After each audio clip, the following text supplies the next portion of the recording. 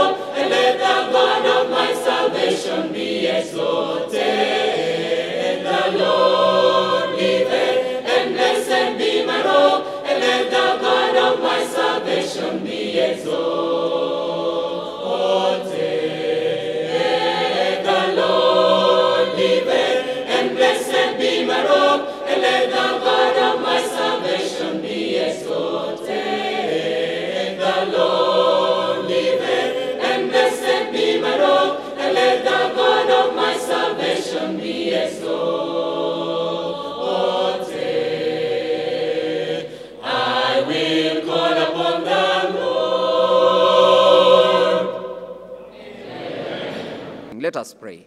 Father in heaven, this assignment you give us sometimes can be difficult. When people have to be told the truth, they may not be comfortable, or a truth they may prefer to be whispered when the sin is loud and public. But we pray that you may forgive us where we've gone wrong. And as we come together in communion, we come as a forgiven people. We come as a renewed people. We come as a people who now know the will of God. This is our prayer in Jesus' name. Amen. Uh, our message this morning is wash it or lose it. Wash it, wash, wash, wash. Wash it or lose it. Wash it or lose it. Wash it or lose it. Whatever it is, to continue having it, you must wash it. That's why the message says this morning wash it or lose it. Any delay to wash it means you lose it. The message is wash it or lose it. Any decision not to wash it is a decision to lose it. And the message this morning is wash it or lose it. If you value it, whatever it is, and want to keep possessing it and using it, you will wash it to avoid losing it. And that's why the message this morning says, wash it or lose it. The ball has been thrown to my court and your court. We are responsible for whether we lose it or keep it. And that's why the message says, wash it or lose it. During the Holy Communion, the Last Supper, the Bible says that Jesus went to the upper room with his disciples. And they sat around the table where food had been prepared. But something had not been done. In the tradition of that time, when visitors come to our house, there will be a slave at the door, and there will be water for ceremonial cleaning at the door, so that when visitors come, the slave washes their feet and they come in for supper. This was the water that at a certain wedding Jesus turned into wine. And so they came in, but in this upper room, the owner of the house was not there. Nobody washed their feet. And they sat around the table, and food was in front of them. And the question that was in the mind was okay, should we proceed eating without washing our feet? And if we have to wash, who washes whose feet? Because this was the tradition. And the Bible says, John chapter 13, we will begin reading from verse 4, that Jesus rose from supper, from where they were sitting around the table.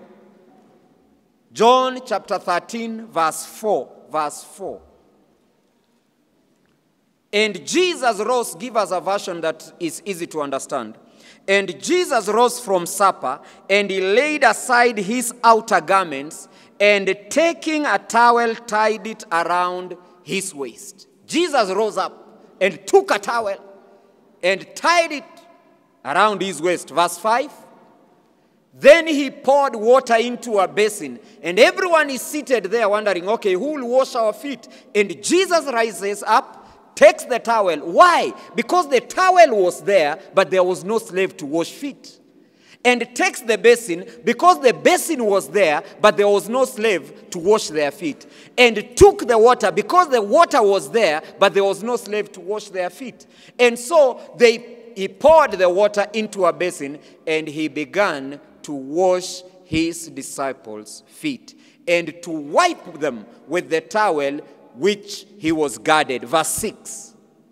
He came to Simon Peter, and Peter said to him, Lord, do you wash my feet? He's saying, You are the boss. You are Lord. You are not a slave. Do you really want to wash my feet? Really? You, Lord? Verse 7 Jesus answered him, What I am doing, you do not know now. But afterward, you will do what? You will understand. What I am doing, Jesus says, Listen, I'm the boss, that is true. I'm the master, that is true. I'm the teacher, that is true. But what I'm doing, you don't understand. You can't understand now. But afterward, you will understand. Verse 8 Peter said to Jesus, You will never. Peter said to Jesus, You shall never wash my feet. Never. You are the boss. I'm subject to you. You wash my feet? Never. It can't work. Never forget about it. And Jesus answered him, If I do not wash you, you have no relationship. You have no part in me. Jesus says, My relationship with you depends on me washing your feet. And if you love this relationship, I must wash it. If I don't wash, you lose the relationship.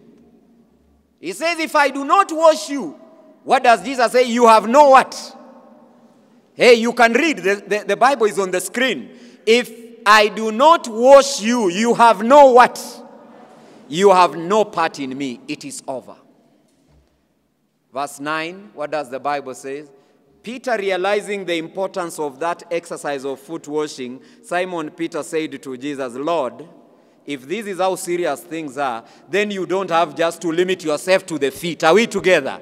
You can also wash my hands, and please go ahead and also wash the head. And he, he was looking around, willing to undress to be fully washed. Are we together? He says, eh, eh, eh, Jesus, if this is about having a relationship with you, Then not only legs. Please go ahead, wash the hands, and when you are through, have the head and wash it. And while you are washing, I will think of what else you will wash. Wash it or lose it. Verse 10, what does the Bible say? Jesus said to Peter, He who has bathed does not need to wash except for his feet, but he is clean all over, and you are clean, but not every one of you. Jesus said, Listen, you had already taken a bath, but we only want to address the feet that have gathered dust. But Jesus said, Anyway, even though I'm saying that, there is one of you who is not clean. Verse 11 clarifies that by saying, For Jesus knew who was to betray him. That is why he said, You are not all what? Clean. Let's go to verse 14. Let's go to verse 14. Verse 14, what does the Bible says? If I then, your Lord, and what? If I then, your Lord, and what? If I then, your Lord, and what? And teacher, have washed your feet, you also ought to do what? To wash one another's what? Feet. Wash it or lose it. Listen, brethren, Foot washing is a very important aspect of the Holy Communion service. If you have participated in Holy Communion anywhere in any church without foot washing, it was not Holy Communion. You are just having a meal. Let me repeat it. If you have been participating in any communion without foot washing, that was not the Holy Communion that Jesus put in place. You are just eating whatever it was. Jesus says, If I, your Lord and teacher, can wash your feet, then you must also go and wash one another's feet during the communion service.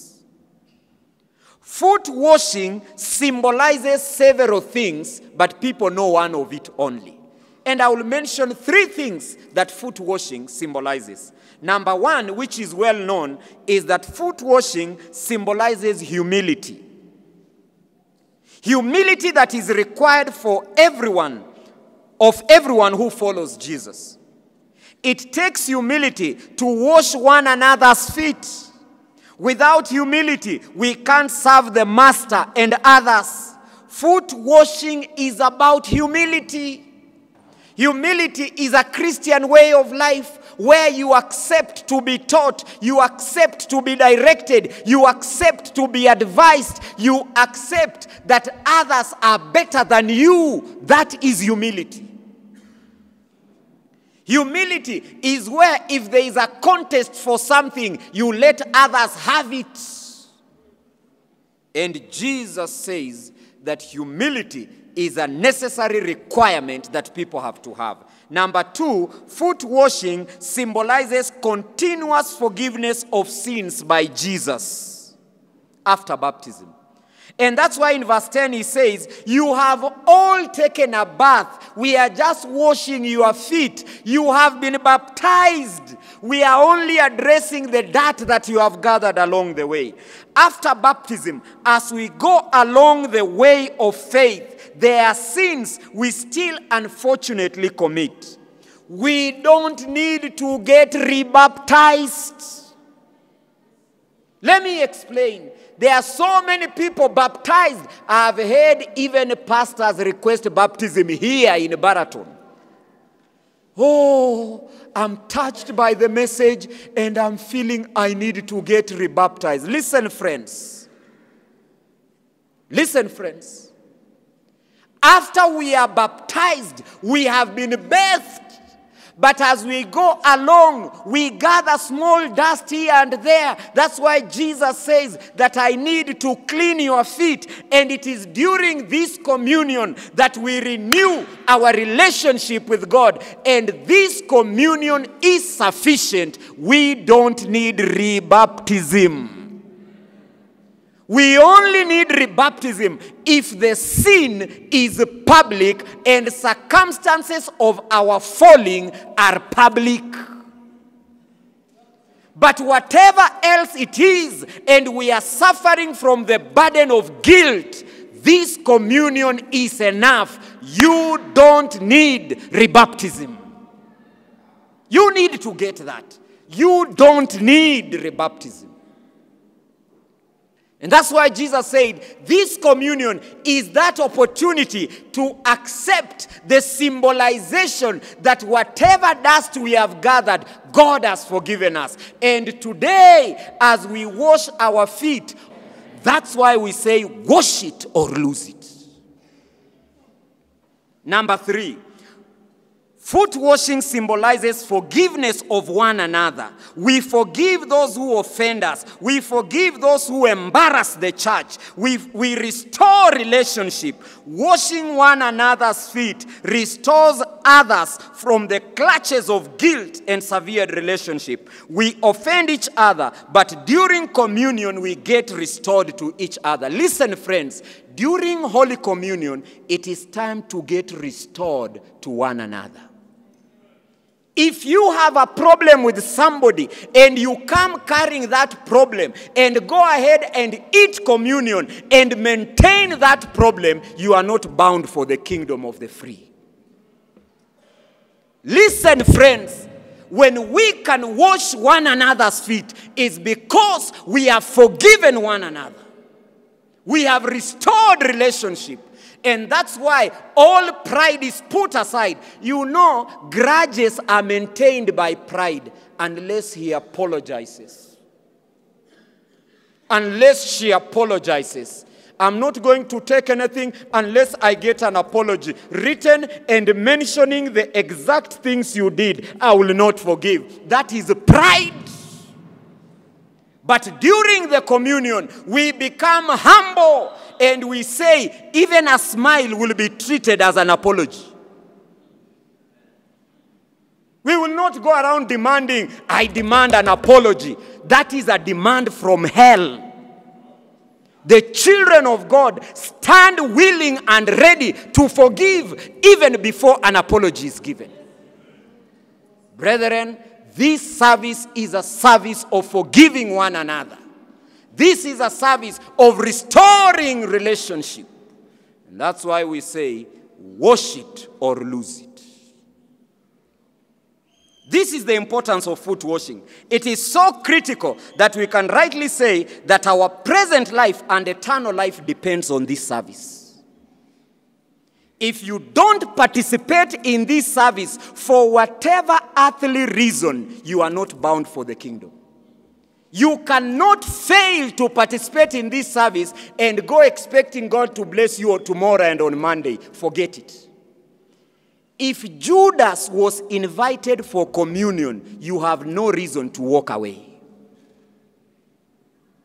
How much do we offend God for you to be so angry that I need to settle this matter, then maybe next communion I'll eat? You may not make it. Listen, the show of anger itself, the Bible says in Galatians chapter 5, is from the works of flesh, the devil's working in us. If you are so angry that you can't forgive, it is the demon in you, not, not the Holy Spirit. Brethren, we need to forgive one another. We cannot postpone forgiveness and say, I will not take communion. I still have issues to settle. Settle them now. Wash it or lose it. Your life after this communion will depend on whether you participate or not. And we begin by foot washing. Participation should not be superficial, but with all its meaning of foot washing. Wash it or lose it. The choice is yours, brethren, to either wash it or lose it, participate or be doomed to a miserable life after this and ultimately miss heaven. Listen, we have a responsibility. Christ has invited us to this communion. He has taken the towel, and through somebody, He wants to wash your feet. And through you, He wants to wash somebody else's feet. You need to participate. Father in heaven, thank you for the opportunity of the Holy Communion. Thank you for the opportunity to wash our feet after we have gathered dust the whole week in various events. Forgive us where we've gone wrong and renew our relationship with you beginning today during this communion. May we be forgiven our sins and may our guilt be lifted. This is our prayer in Jesus' name. Amen.